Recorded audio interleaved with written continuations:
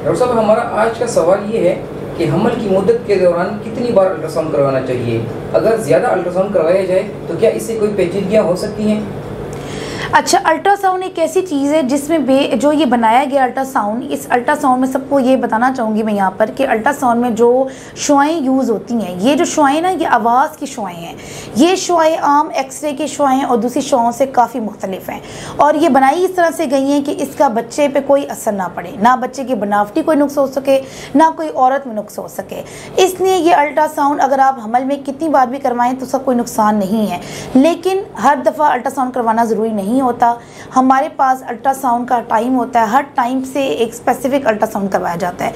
एक अल्ट्रासाउंड शुरू के तीन महीनों में कराया जाता है। ये देखने के लिए कि हमल कितनी मुद्दत का है डिलीवरी की डेट क्या बनती है हमल एक ही है दो तो नहीं जुड़ा बच्चे तो नहीं है ये हमल कर, ये अल्ट्रासाउंड कराया जाता है।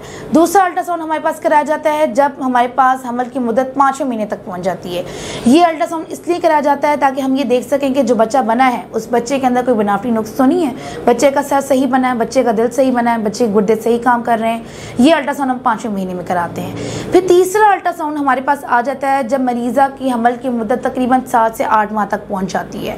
अब इस मुद्दत में बच्चा बड़ा हो जाता है। हमने ये देखना होता है कि बच्चे का की जो नशन वहाँ पेट के अंदर जा रही है, वो उसकी सही तारीखों, हफ्तों के मुताबिक जा रही है। बच्चे गिर पानी ठीक है, बच्चे गिर जो आवल है, वो बिल्कुल अपनी जगह पर है। कोई और किसी किस्म का कोई मसला तो नहीं आ रहा।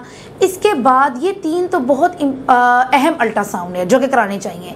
इसके बाद की जो अल्ट्रासाउंड है, वो मरीज़ा पे मुनसर करते हैं, उसी, उसके हालात में मुनसर करते हैं कि उसको कोई और मसला तो नहीं है, उसकी हरकत ठीक है, हर चीज़ ठीक है तो वो अल्ट्रासाउंड पर हम हर महीने के हिसाब से दो अल्ट्रासाउंड कर देते हैं।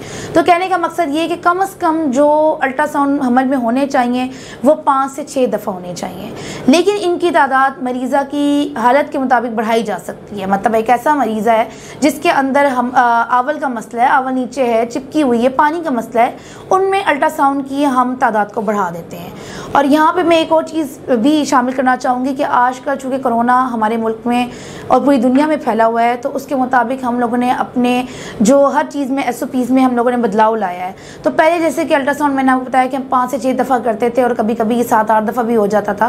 तो अब कोरोना के हालात में इसको मशवरा करके काफ़ी कम कर दिया गया है, ताकि मरीज़ों को हम कोरोना से भी बचा सकें साथ साथ उसकी जो हमने जिच्चा बचका के जो पूरा इलाज करना है, वो भी हो सके तो अब हमने इसको तीन दफ़ा कर दिया कि कम अज़ कम तीन दफ़ा ज़रूर अल्ट्रासाउंड कराए, औरत।